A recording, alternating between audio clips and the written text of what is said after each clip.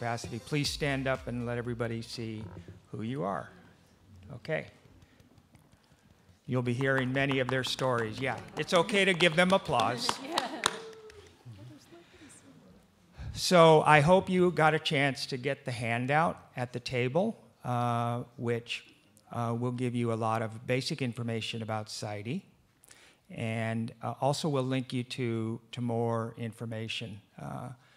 What we want to try and do here today is for the next 45 minutes, we want to share our story with you and then uh, have a question and answer where uh, we hope that, that your reactions to the story will help us learn and uh, will help inspire us to keep going in year two. SIEDI is a two year project. We have just completed year one, and so we're anxious to share with you some ideas about how things have gone and what lies ahead for us. So, thank you all. Um, we want to start with making sure that everybody is aware of and has some feel for the community that SIEDI is situated in, which is Salinas, California.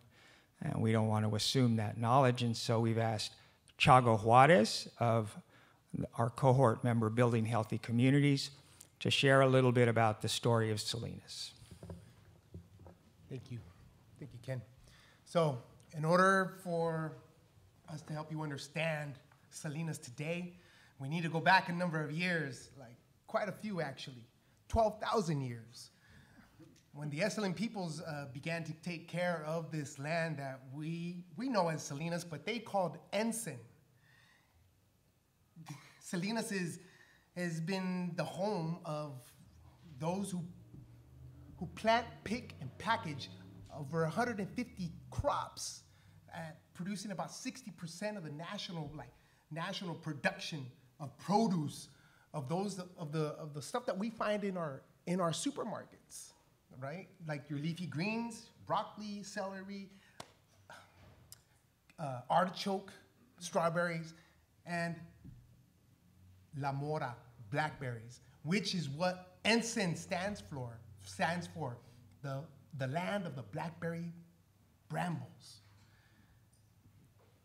And but today's ag industry, um, you know, wouldn't it, wouldn't be anything, not, not just without the Esselen, but but without the Chinese that came during the 1850s, and they brought their technology, the technology of the of the row crop systems, of being able to drain the the, the marshy swamplands that are called were called salinas for that reason.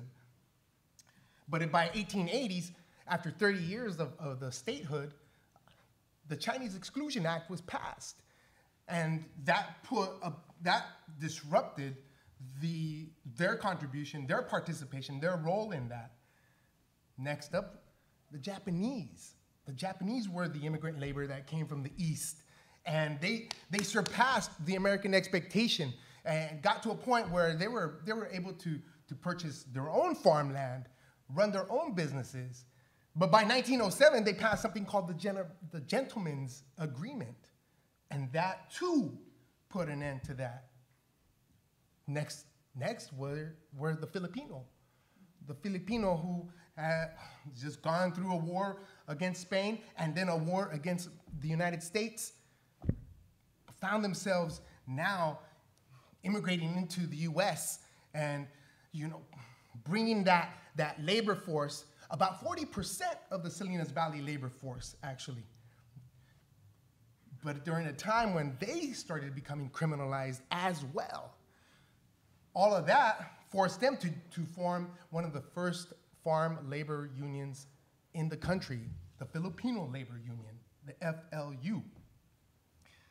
That was, that was the 30s, the Great Lettuce Battle of the 30s, which happened to be the prequel to the Great Lettuce Battle of the 1970s where La Unión de Cesar Chavez, the UFW, came to town and pretty much just disrupted the growers' attempt to thwart farm workers from organizing and choosing their own union.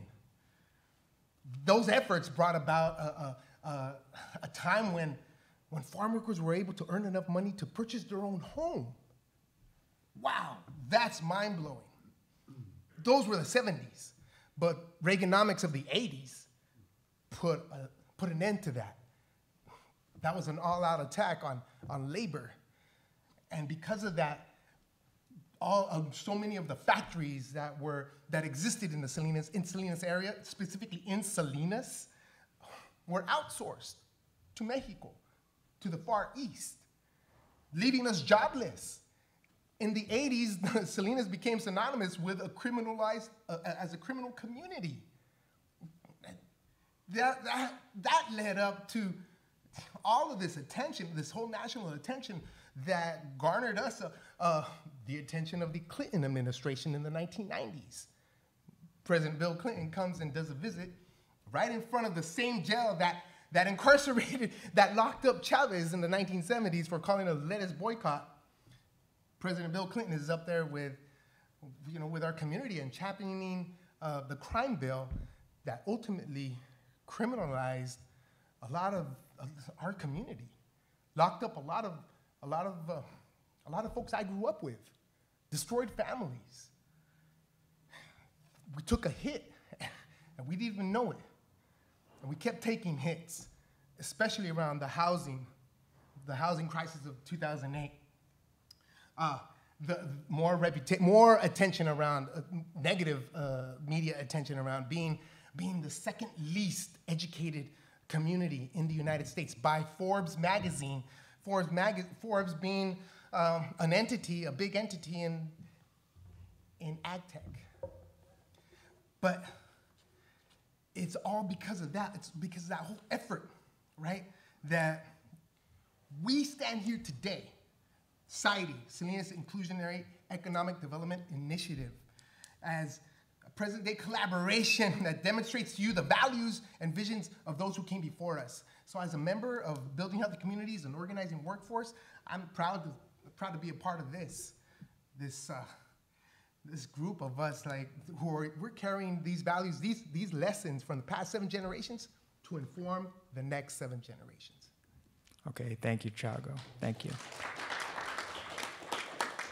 So you can't understand SIEDI without understanding the role of the James Irvine Foundation and their emphasis on funding of priority communities throughout California. So at this point, I want to ask two people to speak. Uh, Cheng Ung from the James Irvine Foundation, and following her will be Laurel Lee Alexander from the Community Foundation for Monterey County, who is uh, passing through those James Irvine funds. Thank you. Good afternoon, everyone. Hopefully, you can hear me. Um, my, my, name is Cheng Ung, and I'm a program officer at the James Irvine Foundation. Um, I'm just going to share a little bit about Irvine, um, our priorities, and just how what our relationship is with um, the Community Foundation, um, SIDE, and all the wonderful partners that are here today. Um, the Irvine Foundation is a private foundation whose North Star is a California where all low wage workers have the power to advance economically. And we do that through a variety of different grant making initiatives, but the one that I'm going to focus on and share about is called Priority Communities, where we focus on community efforts to help create economies that work for all residents. And we do that in five specific cities throughout California. And those five cities are Fresno, Stockton, Riverside, San Bernardino, and specifically in Salinas. And um, our goals in priority communities are really about creating more good jobs in these communities. It's about ensuring that low wage workers in these communities then have access to these good jobs. It's really about um, supporting community led efforts about increasing that spread of good jobs. And it's also about leveraging our you know, um, own dollars to bring in increased you know, public, private, and philanthropic dollars into these cities and into these regions. And so what that looks like in terms of grant making has really ranged from you know, supporting inclusive economic development um, efforts. It has included entrepreneurship, workforce development, capacity building of local organizations, and a variety of different efforts. Um, and in Salinas, we've been really lucky um, to be able to partner with the Community Foundation for Monterey County, CFMC, to support SIEDI, the Salinas Inclusive Economic Development Initiative, which is a really multifaceted, both grant making, capacity building program that really centers, you know, um, on the role that local nonprofit organizations um, can play in inclusive economic development planning and implementation, and how they have the leadership and the voice to be able to help shape and create a more inclusive and equitable um, economy in Salinas. And they do that really right through centering racial equity, but also uplifting the voices, the experience, and the power of local leaders, community members, and low wage workers at the center. And so, um, you know, we are incredibly thankful for the leadership of, you know, of CFMC, for all the SIEDI partners, and, you know, our ability to really help you know, potentially shape the future Salinas that, you know, um, where low-wage workers are not, you know, left out of the picture, but can lead at the table and help make Salinas a place where, you know, everyone can thrive. And so I will pass it over to Laurel. Thank you, Cheng. Thank you, Chago. I'm Laurel Lee Alexander. I'm Vice President of Community Impact at the Community Foundation for Monterey County, and it's great to see you all.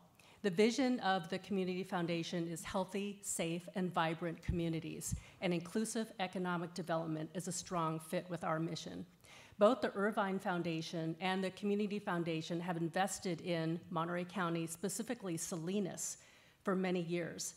But the Irvine Foundation has partnered with us, the Community Foundation, since 2018 for specific programs and initiatives in Salinas we're really pleased that this third initiative is really centering racial equity and all voices at the table for inclusive economic development.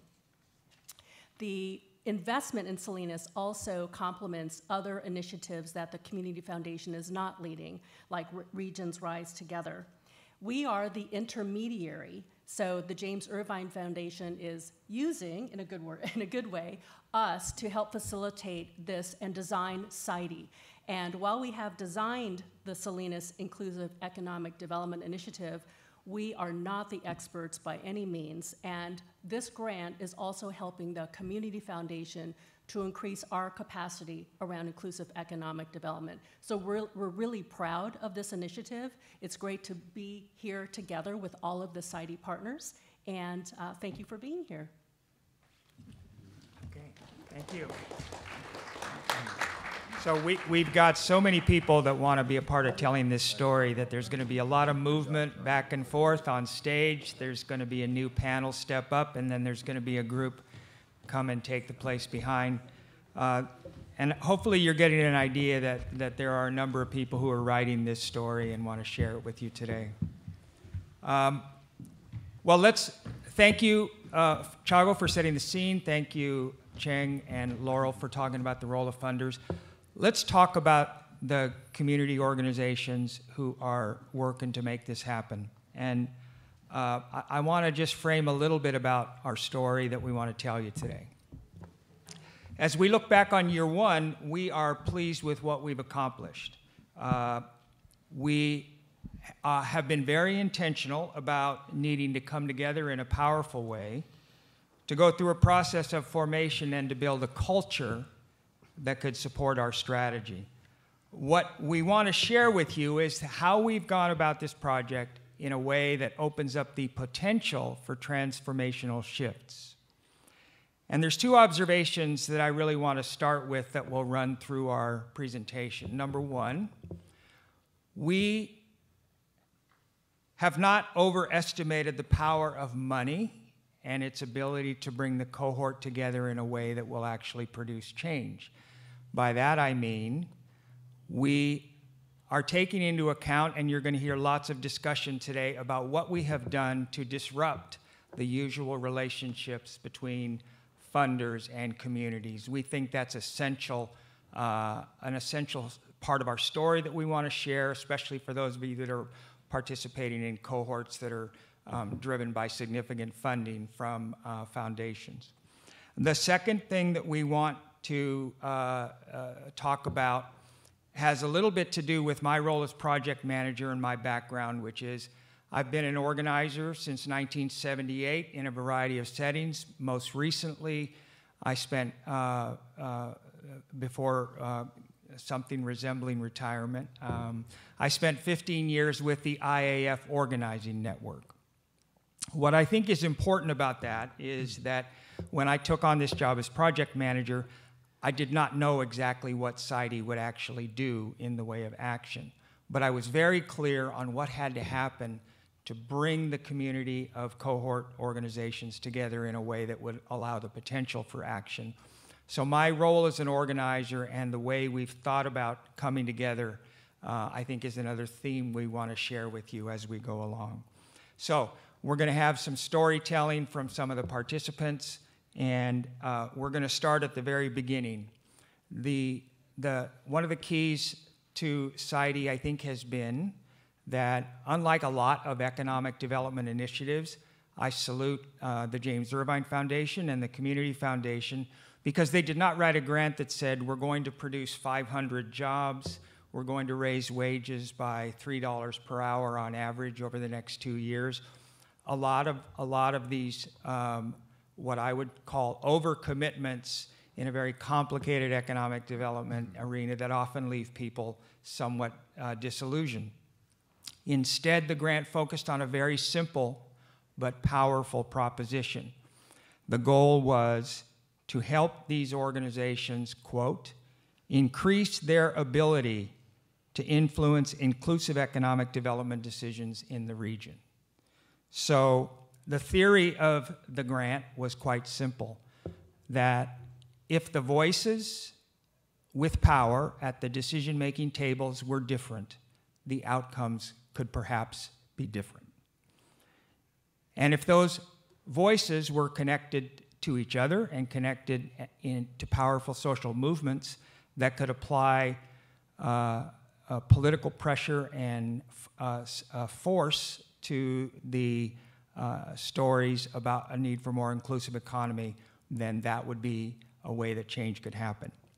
So we want to start by thinking a little bit about how the cohort was selected. And Steve Lieberman of Loaves, Fishes, and Computers, also known as LFC, will talk a little bit about the selection of the cohort. Thank you, Ken. That's a great introduction. Yeah, my name is Steve Lieberman. I'm the board president uh, with LFC, where we work to close the digital divide and promote digital equity by providing people, individuals, and families with the technology and the technology skills they need to fully participate in education, in the workforce, and in civic life. I was asked to talk about the selection of the cohort and I think Ken just framed it uh, really well. This it we're organized for action. That's kind of what uh, what was the motivating factor, right? So how best do you do that? Well, you, you need to bring together organizations that are deeply rooted in the community, and you need to bring together organizations that cover a, a, a diversity of, of skills and knowledge, right? So focusing on really being effective from, from the ground up, from the community leaders up to help, help us make decisions about what we're going to do based on the, the, the knowledge from the, the people that know the community best. That's, that's the model, and I think it's extremely important that it starts from the very beginning. So, really, the simple answer to the best way to make progress for action is to bring together the organizations that understand different aspects of the economic needs of the community and have roots in different places where we can bring those skills and those backgrounds and knowledge together to be much more effective than any one of us could be on our own. Uh, and you're going to hear a lot of other examples uh, in the next uh, half hour or so about iterating on that principle. Uh, and what, one of the ways you'll hear about that is with the baseline assessment, where, where uh, Ken and, and Irvine Foundation and CFMCO asked us, what is our current capability and where do we go from here, right? We weren't told, right, create 500 jobs. It was, you know the community best, you're the leaders, tell us what's going on and help us get to where you need to go. Thank you. Thank you for joining us today. Okay, thank you, thank you, Steve. Um, did everybody get a handout when you walked in? If not, they're on the table back there. And there is a uh, two things I'll point out. There's a list of the nine cohort organizations, and there's also a very short link to what the SIEDI story map, which will give you in-depth understanding about each of those organizations. These organizations, as Steve said, were not selected for previous expertise on economic development. On the contrary, many of them have had no experience in economic development. But what they are experienced in, as Steve said, is the rootedness and connectedness to the community. So uh, the handout will help you flesh that out. So as project manager, I had to find a way to engage in conversation with the cohort about what SIEDI could be, how we were going to go about our business. And, you know, words are sometimes very hard uh, uh, things to form and capture something as complicated. And um, I began to talk with people about an image that I think seemed to click with people and that I think still clicks. And I want to shift the story now to talk a little bit about how the, the SIEDI, principle is to let organizations find their own way into the initiative in a way that works for them. What, what I came up with was the idea of a, uh, each organization needing to find a way to create its own orbit around the goal. So, in other words, the goal was to increase their ability to influence inclusive economic development. That was the sun. Each of the nine organizations, the planets, had to come up and find their orbit around that goal. What, how were they going to interpret that? What was going to be their activity? And the collective idea there was something which would begin to emerge as a SIEDI solar system. So, a very key value was to help them find their orbit around the goal and the expression of that. We're going to hear a couple stories from uh, Chris Devers of Rancho Cielo and Maria Elena Manzo of Mujeres en Acción that speak to their experience of finding their way into SIEDI. Chris? Okay, buenos tardes a todos y bienvenidos. Uh, my name is Chris Devers. I'm the, uh, the new CEO of Rancho Cielo. I've been in the role about nine months. Uh, previous to that, I was Senior Director of Alternative Education uh, with the Monterey County Office of Ed. Um, that sets the stage for how we got into SIEDI, um, which is why I begin with that. Um, I would just say that Rancho Cielo, uh, I very much view it as an economic uh, de- development organization uh, focused on education and training for 16 to 25 year olds who seek to earn their high school diploma and want to go into one of the trade programs uh, that we offer. Um, when I first got into the role, I received a phone call uh, from Ken requesting a, a meeting. Uh, Ken joined us in my office, and we sat down. Uh, for me, as everything was, you know, coming full speed ahead, and uh, you know, with, with force and very complex.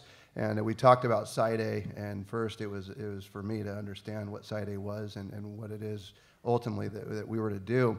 Um, but one of the things that I appreciated the most was um, really uh, Ken's um, introduction of SIEDI to me and to our team, which has become a team totally focused around this initiative, and allowing us to look at how uh, SIEDI would fit into Rancho Cielo's mission and what it, what it is that we do as an organization so that it wouldn't become an additional thing uh, that we were tasked with doing, uh, that it, but that it would become a meaningful piece that sets the trajectory uh, for what our organization does in the community that we work with.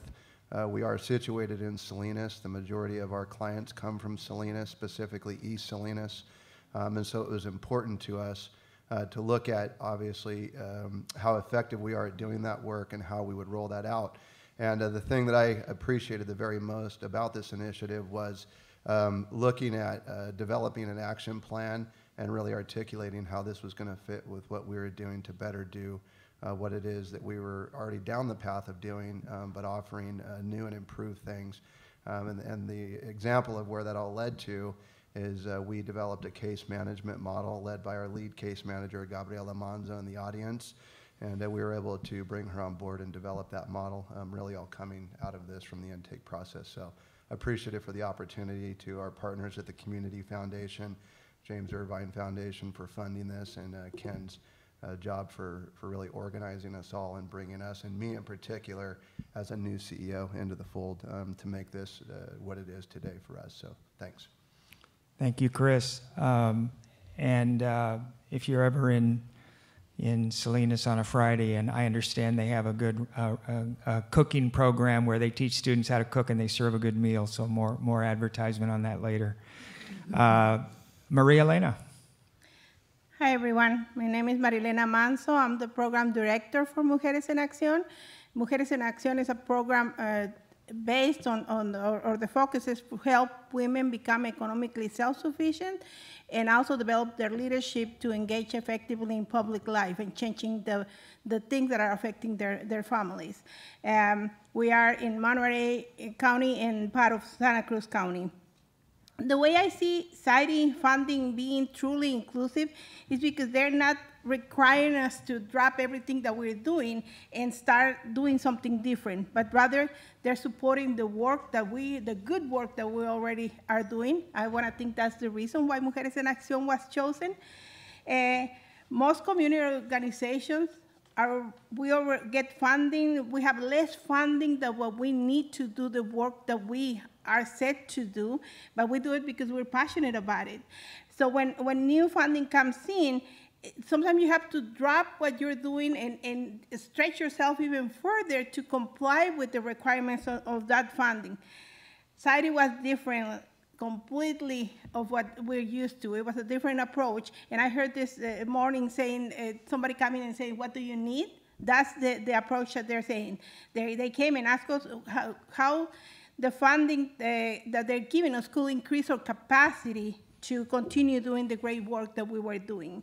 Um, and also uh, giving us the support that we needed to build the capacity through mentorship and, and technical assistance we were able to learn what the, in, in our case, we were able to learn what the programs, in uh, the women in our own program really understood about Mujeres en Acción.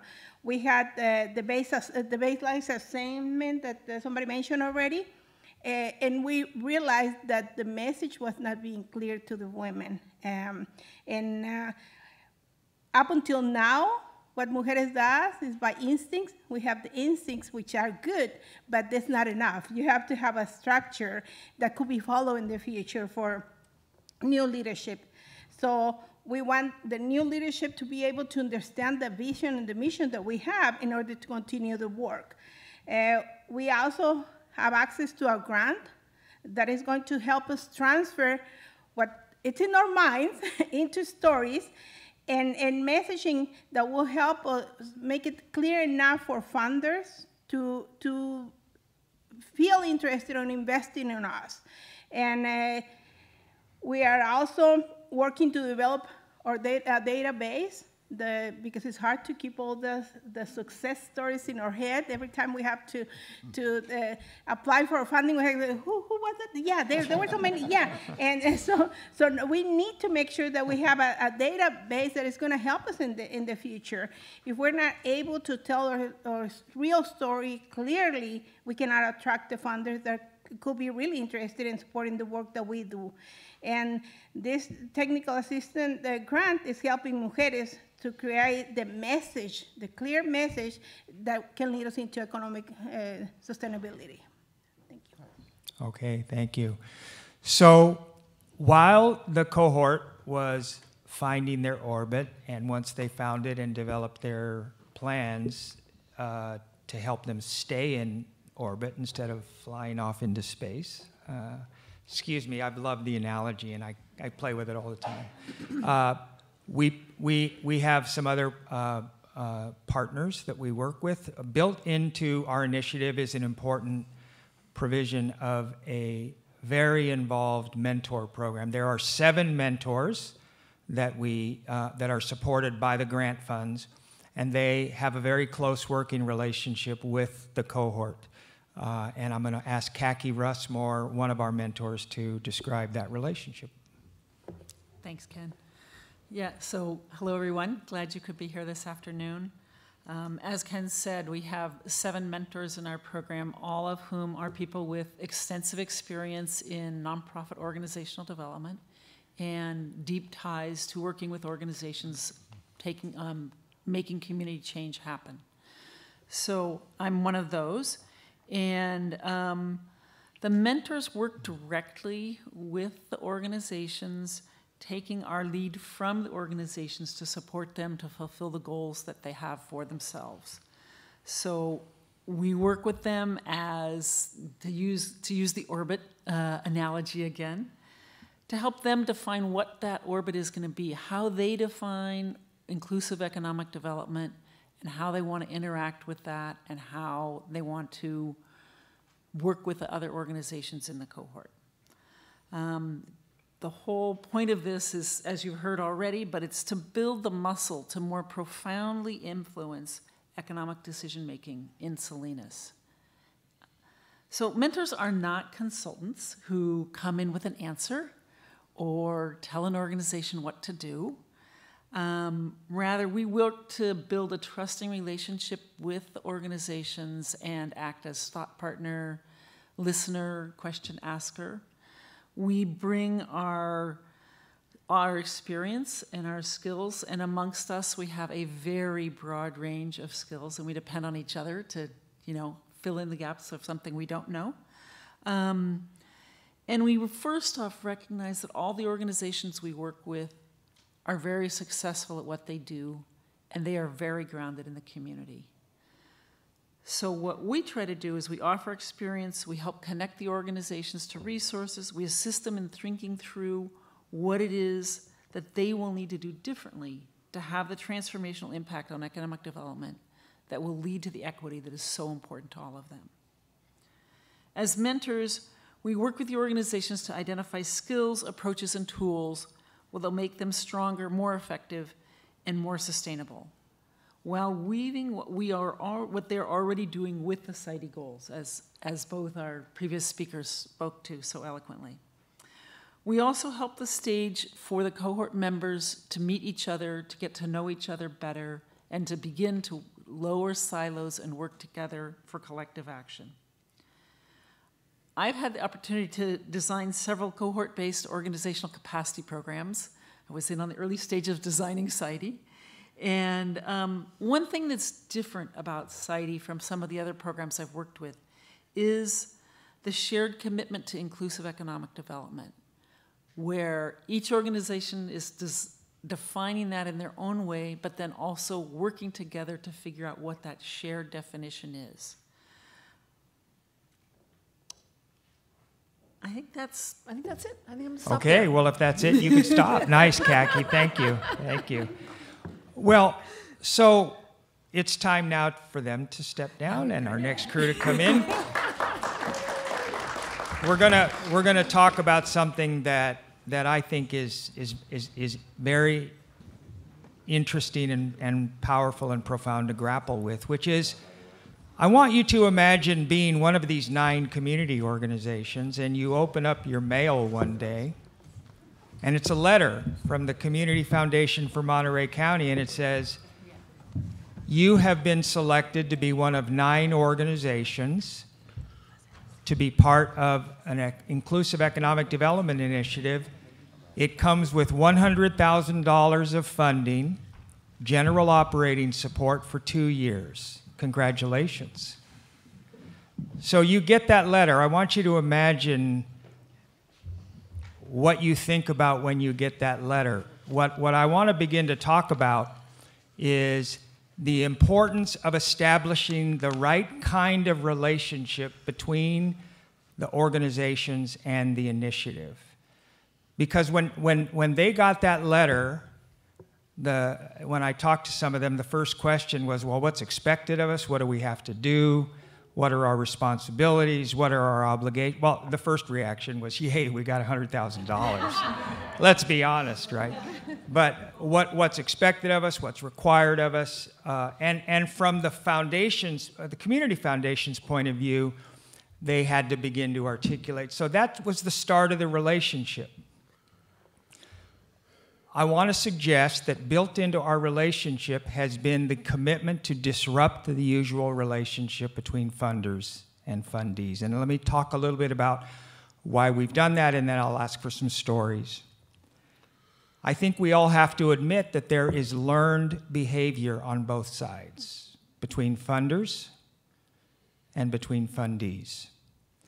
And the question we've asked, we have to ask ourselves, is that learned behavior, does that, has that resulted in the kind of behavior that will allow for powerful social movement building and transformational shifts?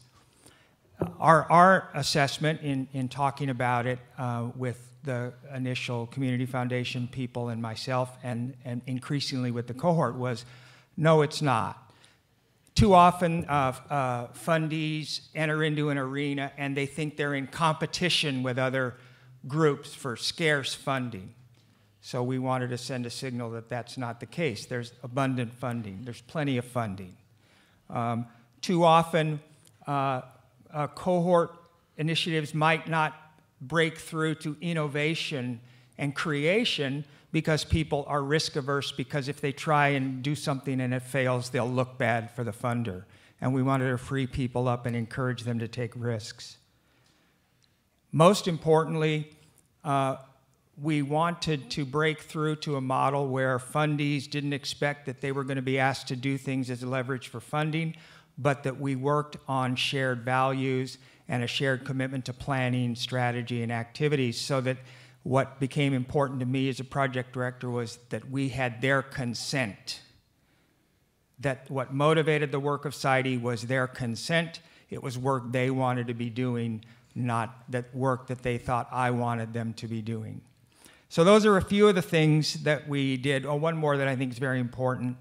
Um, sometimes I think funders don't ask enough of organizations that they are giving this kind of money to.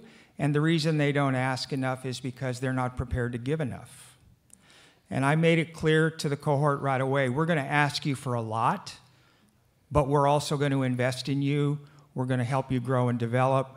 We're going to provide you resources. And so I think uh, we, we've, we've, we've tried to calibrate a relationship where they, we expect a lot from them and they expect a lot from us, and that's what makes it work. So I want to hear some stories now from Gabriela Chavez of uh, Loaves, Fishes, and Computers, Adriana Melgoza of uh, Center for Community Advocacy, about how we've tried to get the right relationship and how they've experienced that.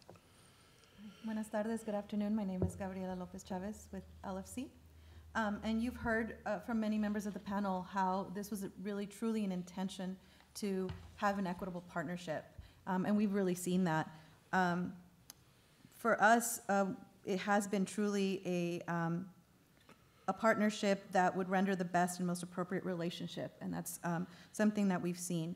It's been inclusive right from the start, and between Ken, uh, members of the Community Foundation, our advisory committee, the mentors, and other members of the cohort, we've developed the initiative and what we wanted to accomplish, um, and we've done so in partnership. Um, it has felt very genuine in this partnership, and we felt that we've had a voice. Um, one of the examples that uh, resonated with us was um, there was a conversation of some statewide and regional-wide um, economic development initiatives, um, including CERF. And the, this was brought up in one of our meetings, and during that meeting, um, there was a lot of voices that wanted to talk about how, how we could get involved. Um, for, for LFC being a smaller organization, this was really important because without um, without SIEDI, we may not have a voice to be able to speak on this or learn or provide some feedback. So that was really important for us. Um, and what we noticed was that SIEDI and the members were able to adjust, not just discussing about this, but actually taking action from it and, and building from it. Um, further, for us, um, it opened opportunities with cohort members um, and committee members that we wouldn't have had otherwise. For us, it's um, for LFC, it's provided the opportunity to be more intentional in our advocacy and our policy efforts that we haven't had in the past. Um, being an organization focused on digital equity, this has been really important because digital inclusion and access to digital devices and tools and connection is an economic and social justice issue, and SIEDI has allowed us uh, to have a platform to do that. Okay, thank you, Gabriela. Uh, Adriana? So yes, so I'm going to talk a little bit about um, the experience where I collaborate. I've been in many collaborates, and you know, when you apply for a job, they say five or more years of experience. Um, but then you're like, how do I get the experience if no one is giving me the opportunity for uh, obtaining that experience? This collaborate is different in that way. Um, this collaborate brought us together with, yes, our own expertise, but it also is providing a space where we're co-learning from each other and co-learning from other um, mentors, from other uh, individuals who are bringing uh, materials and tools to continue to uplift the work that we do together. It's not a space where we're performing uh, and we're, we are expected to know everything and expected to uh, show uh, results right away. It's a space where we are allowed to think and allowed to, the same way that we co uh, share co knowledge, we also share co learning uh, spaces. And so uh, this collaborative society has provided that space for all of us to be able to uh, think clearly and say, this is the expertise that I have, this is the program that I have. How can I even uplift it even more and do more with what I am currently having as an organization? But also, how is this tied to other organizations and how do we tie uh, all of our programs together to uplift an area? To uplift a community, because at the end of the day, we're working for that, right? All of our organizations are working to bring some equitable spaces in our communities, and that's what this space has brought us uh, uh, at least for Center for Community Advocacy and for, I hope, for the rest of the cohort. Thank you, Adriana.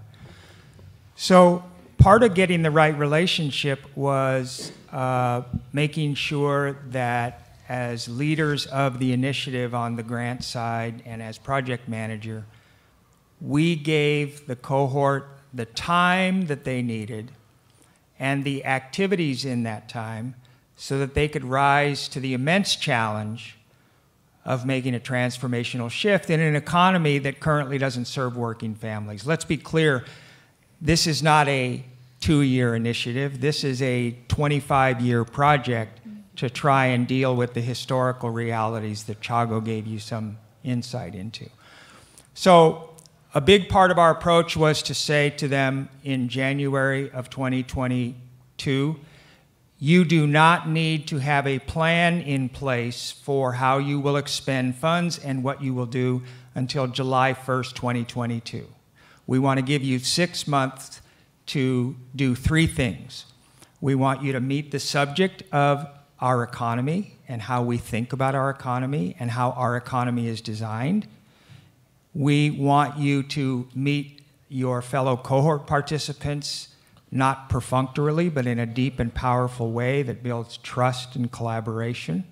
And number three, we want you to meet yourself as an organization and really critically look at your capacity right now and grapple with what you need to do. So um, I want to uh, I want to ask some of the organizations to talk a little bit about that time for formation that was critical to, I think, to where they're positioned now. We'll start with Natalie Herendeen of Center for Community Advocacy.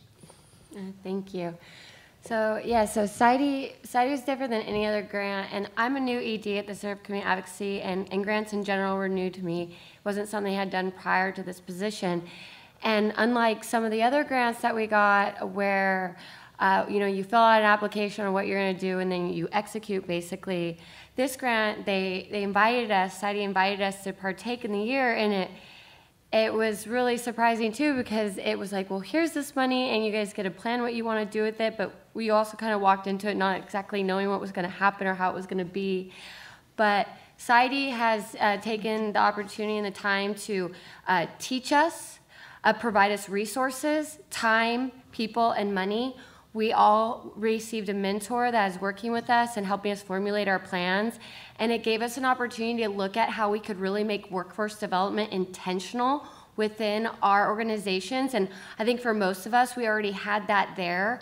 But it was to have an opportunity and time and some education too on how we could develop it more and create a plan and a program to better our community. And uh, has served as a vehicle to connect us all and form deeper relationships or form new relationships, and hopefully that will lead to deeper relationships, but also connect with power players in the community that can help us facilitate our plans and take them to the next level.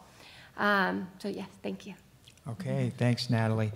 Uh, one of our uh, cohort organizational partners is the Monterey Bay Central Labor Council, and Cesar Lara is going to say a few words.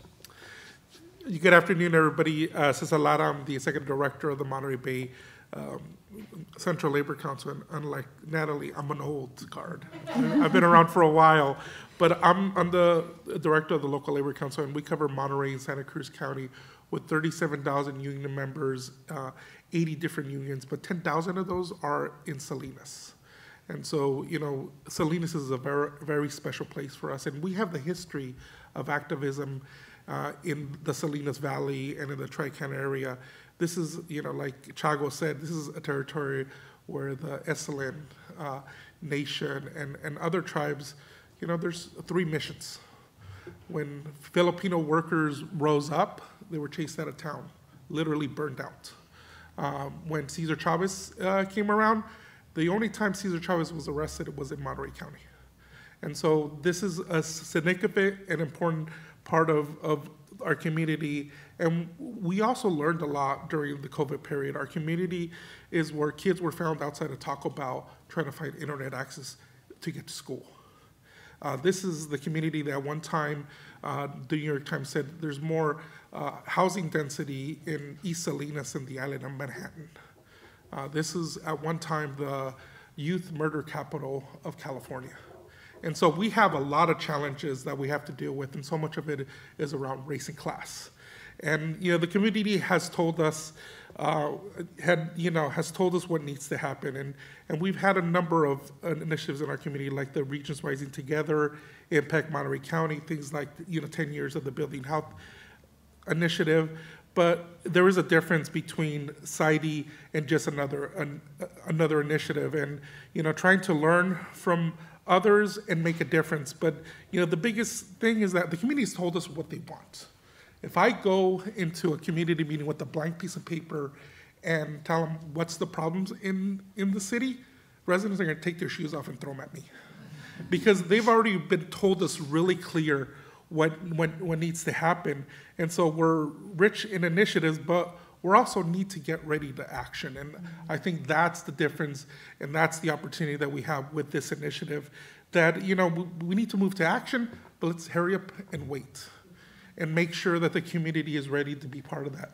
Because those that have been victims of systems should be in the forefront of changing those, those systems. And that's what this, this has allowed us to do. And we need to be equitable in the way that we approach economic development. Uh, SIEDI has allowed different organizations to come together with different skill sets as activists, but also understand that you need different skill sets to be in the world of economic development. Uh, SIEDI has allowed groups from vast and different backgrounds to have our incubator time. You know, this first year was get to know each other from very different backgrounds. You know, I'll be honest, I asked Ken and others, like, how did this group get into this? You know, and it took me a while to kind of figure it out.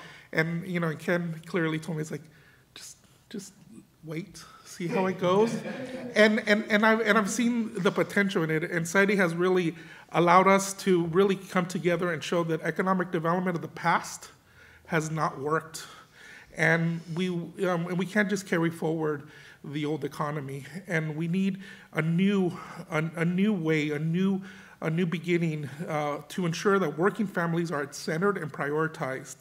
Uh, we need time to lead. You know, SIEDI has stressed the importance of preparing to lead and, and and asked us and others to take the time to really make sure that we are successful. You know, the building trades, we have this notion of measure twice and cut once. And I think that's what SIEDI has allowed us to do.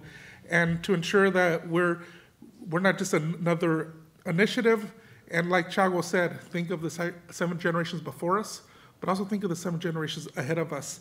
And history and time with support from SIEDI um, we, we have this golden time because, you know, we've had these lessons, we have this time and place in history, and, you know, no pressure, but, um, you know, we're, you know, uh, if, if not us, who? So. Okay, thank you, Caesar, thank you. Yeah. appreciate that. Um, so, I uh, want to focus on two things that have uh, two things that that are examples of asking the cohort to hurry up and and and uh, wait. As Cesar said, by that we mean, yes, there's an urgent need for action, but are you prepared to take action? The first thing we asked them to do was what was called a baseline assessment. And once again, on your handout, you have a link to uh, information about the, the nine success factors that we developed and the way the organizations uh, scored themselves on that. Uh, they did 141 assessments throughout the nine organizations. Basically, that was, in my the way I describe it, those organizations looked at themselves in the mirror and said, "Are we ready to do this?" And I want to hear a little bit from Gabriella and Steve about how that process benefited LFC through the baseline assessment. Great. Um, if I can ask uh, Steve to join me. Or, sorry. Um, sure. Come on up, Steve. While he joins us, I'll tell you a little bit about um, how it worked for LFC. So um, we asked our staff and our volunteers and our, and our board um, to answer these questions. It was really reflective of our, it was an opportunity to look at ourselves in the mirror.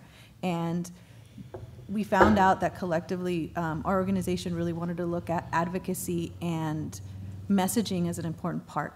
Um, and what it did was it informed what we were going to do with those funds, with our SIEDI um, grant moving forward. Um, and we were really going to be looking at policy change and advocacy as an important part. The other piece was we were going to, what we call, uh, walk the talk, meaning that we were looking internally about how we were uh, involved in inclusive economic development as an organization, as an employer. And so that is part of it. And what the baseline assessment and the um, resulting action plan has done is it's created uh, some pieces for us to look at how we move forward. Prior to this, we thought it would be done parallel with our strategic plan, and in actual actuality, sorry, um, it's actually um, informed our strategic plan. So it's actually been a big piece of how we're looking at our organization within three years, and that's been really important and transformative for LFC. Uh, that's that's right. I really just wanted to recognize Joy Rubey as our mentor for working so closely with us uh, in, at such a deep level to develop our strategy and strategic plan for LFC with the action plan for SIEDI from the very beginning, we, we used this baseline and we iterated on it many, many times, and it became, like Gabby said, a very, very deep part of what LFC is doing for the next several years. So thank you. Okay, thanks. Appreciate that. I, I, I want to take this opportunity to thank the SIEDI cohort organizations for their willingness to look critically at themselves. That is not an easy thing for community organizations to do, uh, especially if they are community organizations such as Center for Community Advocacy, Building Healthy Communities, the Labor Council, some of the more sophisticated, established organizations in our cohort. All, all of us, we come along and we say, you need to do things differently, perhaps. I applaud them for being willing to take a look at that because that's not always something organizations want to do. That's been a key, a key part of this. Um, the last thing uh, about uh, taking our time has been the importance of the gathering of the SIEDI cohort, and I'm going to ask Elizabeth Jimenez of Rancho Cielo to talk a little bit about those convenings. Thank you, Chris. Well, the SIEDI convenings can be described as a synergy between nine diverse organizations that came together once a month with one common interest how to develop a more equitable and inclusive economy in the Salinas Valley. The cohort members contributed ideas throughout the year, allowing for an open space of discussion, debate, and strategizing around the economic opportunities available for everyone in our community. Gathering nine nonprofits to pursue one goal made it clear to everyone that we were there to make a difference. Having our mentors and the advisory council present in each meeting strengthened our relationship and we became allies in a common cause. Most importantly, to talk about equity and inclusivity, we had to set an example and create a welcoming environment where everyone's voice mattered, which is not only it's not always easy to accomplish when a language and a cultural differences exist in our society. Having translators and interpreters present throughout the full day means there's the will to comprehend the needs of those we serve by eliminating barriers and creating a common ground. After six convenings, the first being online and the following in person, we now have bonded, recognizing the crucial role we each play in the economic development of our region. As a whole, we will significantly impact our economy by advocating for those who need it the most. Thank you. Okay, thank you, Elizabeth. So remember, I said we we made a deal with each other. We expected a lot, and we give a lot. So um, one of the learnings I have from this is um, when we decided to host to hold convenings that were six or seven hours long and ask these busy folks to to give us a day, give SIEDI a day.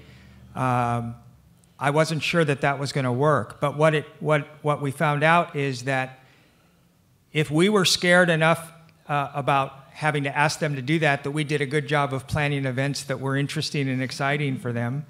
And if they were willing to suspend disbelief and say, okay, I guess I'll go and clear my schedule, that we could make it work. And so I think we've broken through to a place, hopefully now, where we, we appreciate the convenings for the power that they've offered, as Elizabeth said. So uh, let's get our next panel up here. Thank you to this crew. And the next one is fun because we're going to talk about uh, meeting the subject of our economy and solidarity economics. And uh, Chris Benner is going to uh, start that off, and then some respondents on the panel will, will respond to him.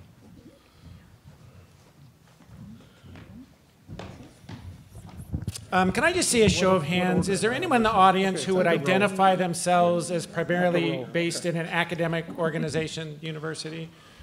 One, two, three, four, okay, five, awesome. Well, one of the signs that you know that this is a community driven and community owned process is that I had um, 40 slides I was going to show you, the statistics of inequality in Monterey and all that. And we kind of all decided that wasn't really appropriate. But that's what academics do, right? Um, uh, what I wanted to share a little bit is I mean, one, it's just an honor to be part of um, this initiative. And I, I got pulled in in part because uh, I had written a book um, with Manuel Pastor. Um, some of you may know this is our fifth book together. Um, we've been doing work for the last 20, 30 years, really trying to document the ways that social equity is good for economic growth. And part of what happened in the midst of the pandemic is really making obvious with all the intersecting crises that we talked in our opening session about of the racial inequality and income inequality um, that's so exacerbated by the pandemic, global climate change, the climate, uh, the crisis of democracy and all, is that we really needed to figure out how to portray that academic evidence that's driven you know, by our work, many other people's work, including very conservative institutions like the World Bank and the International Monetary Fund, demonstrating that equity is actually good for our economy. But it needed to be in a vision, right? It needed to be you know, a, a, an exciting, hopefully, um, vision for our future and going forward. And so, you know, building on 20 years of engagement with social movement organizations, community organizations, um, we wrote a long book. And if I was a good salesperson, I'd have a copy of it here and I'd show you how to buy it. You can go to our, our website, solidarityeconomics.org, to actually download it. But, you know, after you write a whole book, it's kind of, um, I don't know, humiliating is maybe the word, or humbling anyway, um, to realize uh, we could have said it in, in three sentences, really. yeah. Um, the first sentence is it's not the economy, it's our economy. And I don't know if you've noticed, but everyone up here who's mentioned economy has said our economy. I've noticed it. It's really awesome. And part of why that's important is when you say the economy, it suggests that it's something in nature. There are natural laws out there. We just have to adapt ourselves to it And our role for those of us who are concerned about social equity and economic opportunity is to figure out, oh, how do you plug in to the right spot and get the right skills to connect to the economy that others have created? But our economy is created by decisions about where resources are allocated, by laws and regulations, and by resource allocation that determines who has access and who doesn't. So we need to start by understanding our economy. And the second thing is that mutuality matters. Our economy is not driven by individual actors responding to price signals. We are all part of communities, we're part of families, we're connected, and our economy only functions because of those interrelationships and connections. And it turns out when you invest in that mutuality, we get better economic outcomes. So the third point is that because some people benefit from our current economic structures, we need movements. And we need movements to shift those power relationships so that we can readjust the order of our economy and how the decisions are made. But movements also help us see our connections, understand our inner relationships, and how interdependent we are. In the same way that markets make selfish, individualized people, movements make mutual connected people and communities. So, with that framework, we were invited to be partners with the SIEDI Initiative and help try and see well, how could that framework help link to the realities of this incredible work these nine organizations are doing and others in, in Salinas. And so, you know, we worked to do some of the analysis, and I could show you the 40 slides about the levels of inequality and how it's driven so much along racial lines, as well as place based lines. And one of the more striking things to me looking at it is realizing the um, apartheid like government structures we have in our region here, as in many regions of the United States, where our local governments are fragmented with separate tax bases and separate resources, but our economy is interconnected. And people are migrating back and forth on daily commutes, long distances sometimes in heavy traffic. And, and the statistic I would leave you with is the city of Monterey has five times the tax base per capita of the city of Salinas. But 85% of the workforce of Monterey, driven by the tourism industry, the accommodation industry, does not live in Monterey. Has no right to vote in Monterey, they can't afford to live there, and yet our economy that they're helping to generate is creating the sales tax revenue, the hotel tax revenue that's providing those tremendous tax resources for those residents of Monterey. So solidarity economics helps us see the ways that inequality undermines our economic prosperity. But it also helps us see how movements and mutuality show our future. And there are tremendous examples of community health worker initiatives, the VITA program, efforts to come together in the election this next week, no, two weeks, November 8th, um, to help raise additional funds for early childhood education, because as was said so powerfully in the open plenary this morning, that we know our communities are doing well and our children are doing well. Um, and so our hope in the work with the SIEDI Initiative is to help see that mutual future and help realize it. So we're doing that in a number of different ways, and this is early days, but one of the first things was um, getting students connected to the SIEDI organizations to help lift up their voices and their stories. And one of the things you'll see in the handout is story.society.org is a story map of students coming together and helping to lift up the work of these nine organizations. But the other place we started is not with analysis of the industries and the jobs and the wages, as important that is. We started with a power map of the decision making ecosystem in the Salinas economy, in our economy. And it's a way of really trying to visualize, and it's an interactive tool that we've been using as a capacity building, training, and collective knowledge generation process for all of us to better understand who has influence of decision makers in official decision-making capacities, in industry leadership positions um, across our economy, and how aligned are they with an inclusive economy agenda and, or the status quo? And from that, then we will begin to figure out how our research can go more in depth into issues that can help support the organizing.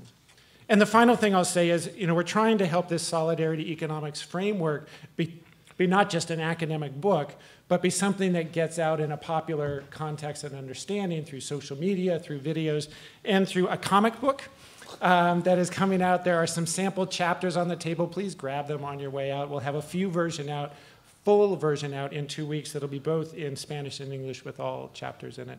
Um, so that's part of what, try, what we're trying to do, and just an honor to be part of this initiative. Okay. Thank you, Chris. Now, uh, yeah, thanks, Chris.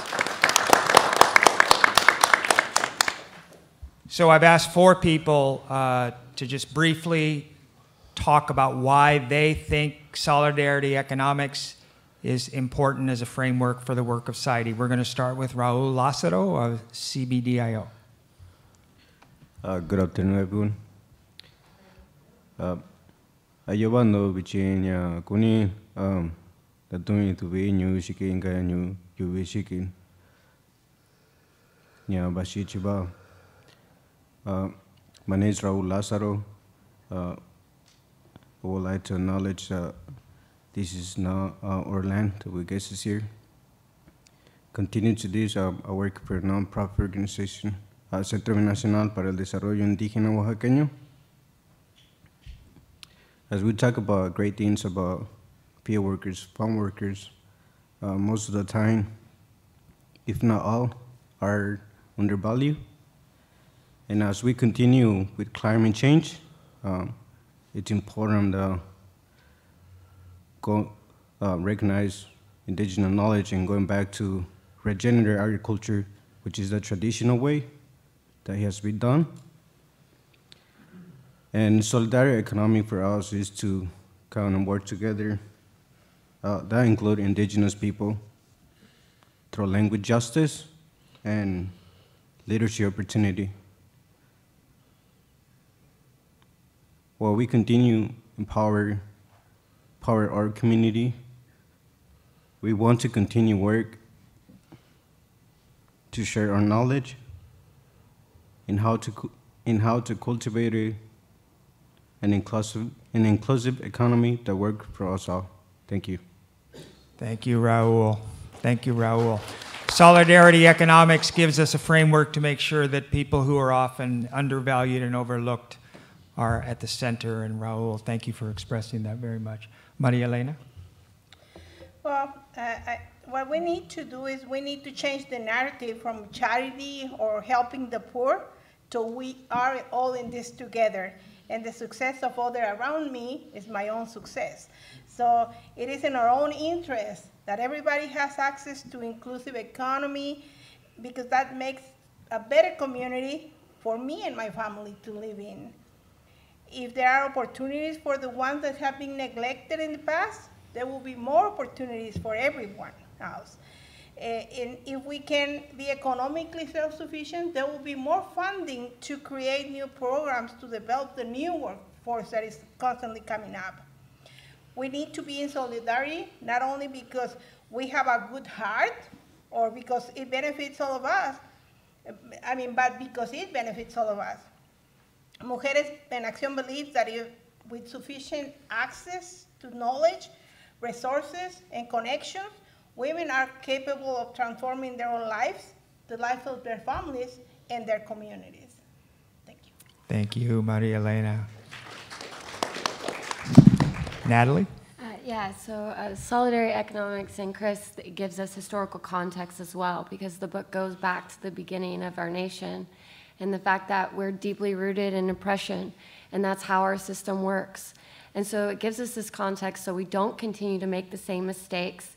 And it's also Chris and his team in the book is helping us create credibility and data for the people that don't believe this and are fighting against change so that um, when we're faced with opposition, we have that data and that context to back us up.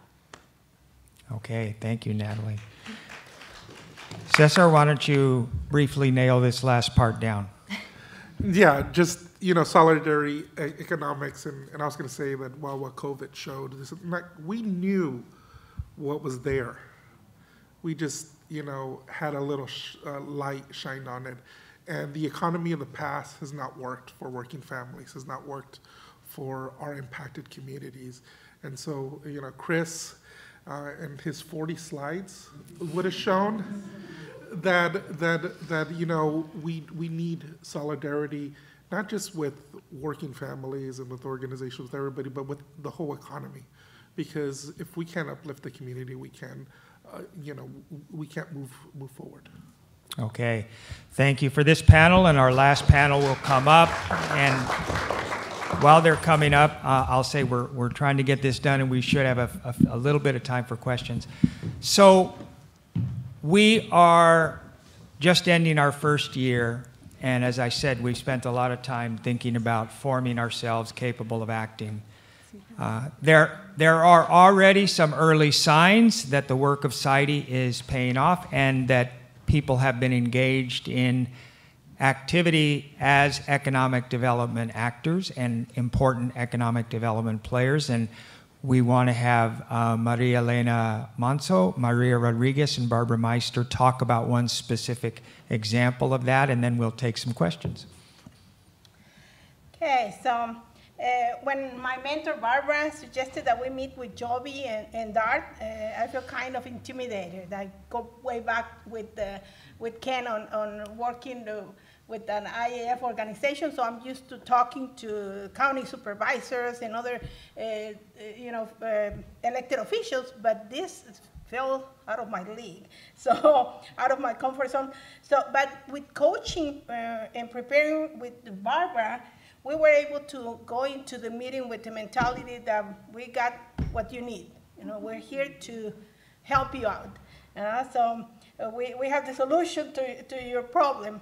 We met with Josh Metz, the, the executive director and co-founder of the Monterey Bay Dart uh, Initiative, and Peter Church, the aviation education manager uh, for Joby.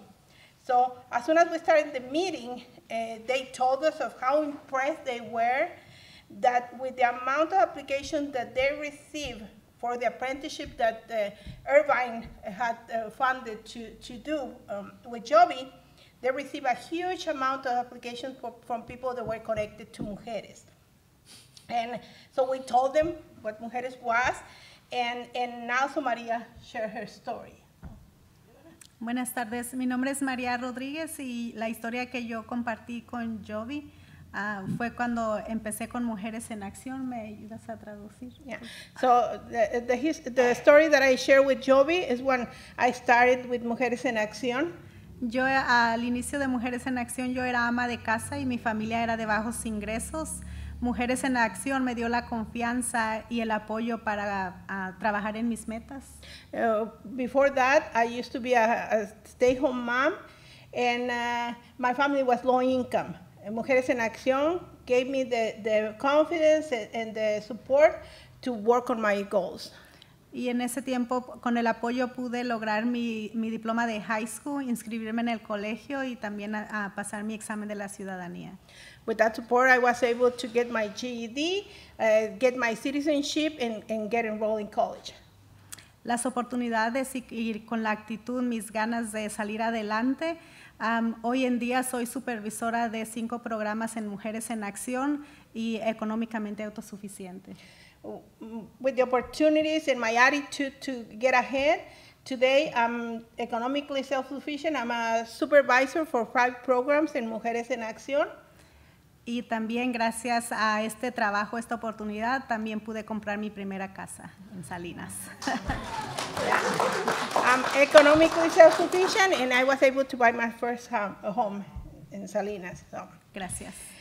So they were very impressed, of course, with Maria's uh, accomplishments. And, and, but and Maria is, a, is an example of what Joby wants. They want talented, motivated women and mothers of, of future Joby workers.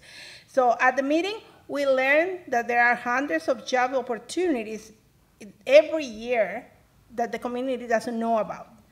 And that confirmed uh, we are really the solution. So when we were in the meeting, it's like, yeah, it's not just my attitude, but yes, we are the solution.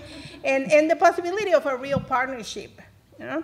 This is a clear, to me, this is a clear example of solidarity and mutuality. We are in this together. The success of jo- Joby and Dart is linked to the success of the community. I saw, uh, uh, just a short anecdote, I saw uh, Josh at the coffee table a couple of weeks ago at the MBEP State of the Region event, and, and said, hey, Maria Elena, you need to be one of my panelists uh, for symposium next year. Uh, I mean, next month, sorry. Uh, so that tells me that he sees mujeres as real partners, so we're in the game. All right, excellent. So I can't think of a better way to end a, a presentation that mainly focused on how we went about building ourselves in the first year so that we would have the potential for action with a little glimpse of what lies ahead. Because this story tells us that there is a role for these community organizations to interpret the Salinas labor market to employers like Joby Aviation, to be responsible for the business climate that they perceive for their investments rather than just accepting their version of the business climate, but to be real actors. And that we're going to leave it right there and thank all the storytellers for their participation. And we've got about 10 minutes. If any of you have any reactions or questions for the panelists or, or me, uh, we would really benefit from hearing what you think. Uh, so if anybody has any reactions or questions, yes. Hi, thank you all. This was a really interesting panel. And the description, I don't think, did it justice. We didn't realize how many speakers, so appreciate all of the storytelling that was told. Um, my name is Molly. I work with the Moving Forward Network, and we work across the country with frontline organizations. But I was really interested when you were talking about the work that people had to do and organizations had to do internally. Mm. And if you can share a little bit more about that, because I think that that's also something that takes specific resources. And so it takes time, it takes capacity. And when we do a lot of internal work, that means we can't do our external in the same way, right? We don't have, we, there's only so many hours in the day, there's only so much work we can do. And so I guess I'm wondering if you can share a little bit more about what that was like and what those experiences were like to really do that work internally. Well, I'll, I'll, I'll briefly frame it as this. I think in, in the world that I've perceived, uh, the funder world, the project world, there tends to be a division between capacity building initiatives and action initiatives. And what we tried to do was merge them. And we said, you can't take action until you assess your capacity and build it. So that's my contribution to that. And please do look at the baseline assessment. There's a lot of information there you can look at. And if you have any questions, feel free to follow up with me. Any, any, anybody else want to talk about your experience of looking critically at yourself internally?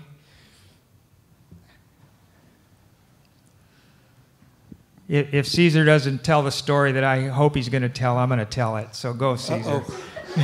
No, the, the biggest thing there is that I think we could chew gum and walk at the same time. And, you know, I, I, I come from an organization that, you know, it's the National AFL-CIO, blah, blah, blah. We've been around forever and, and a day.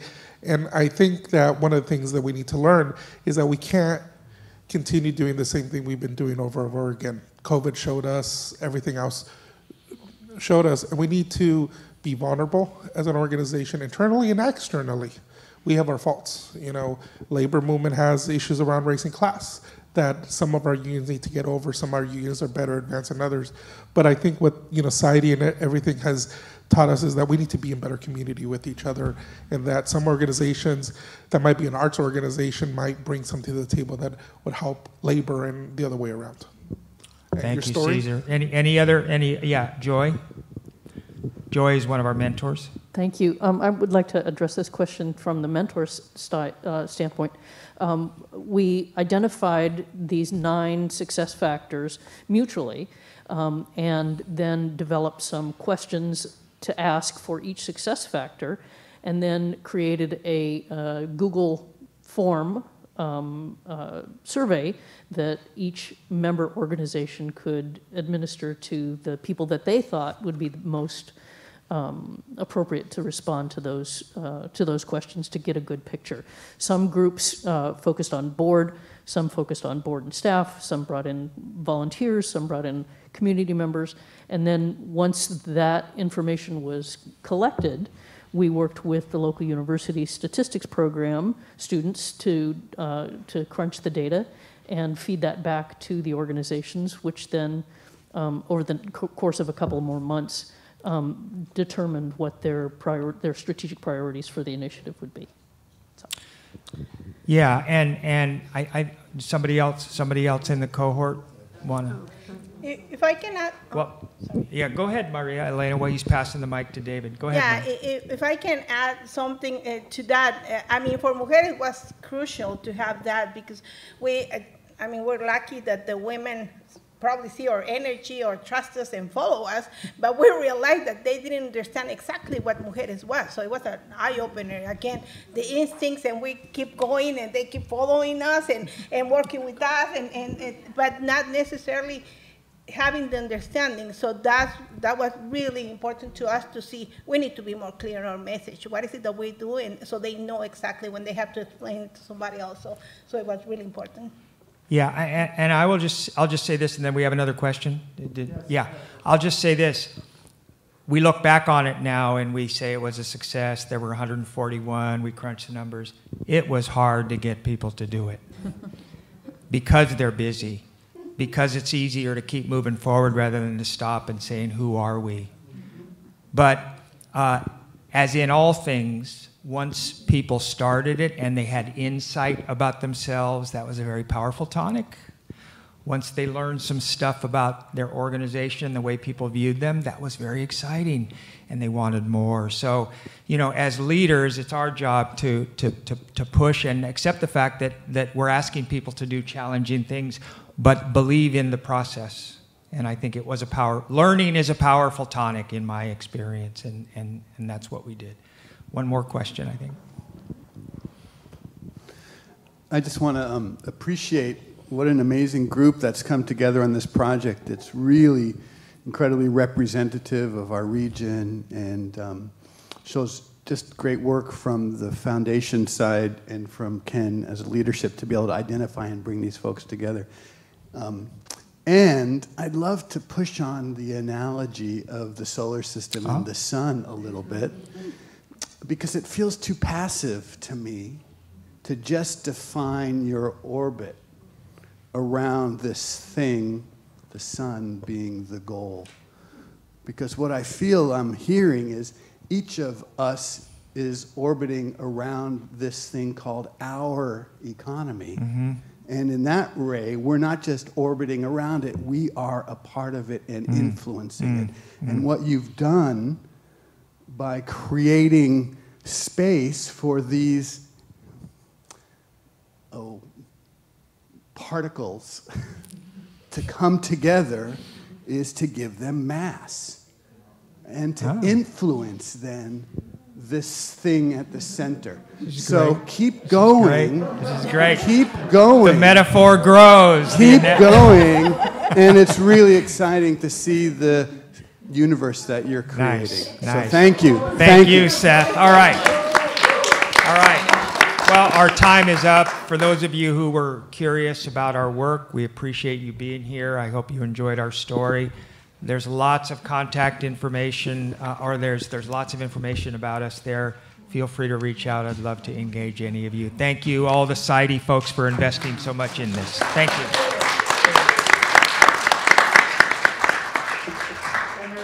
Um, coffee breaks, snacks back on the other side, and we'll reconvene here at 3:30.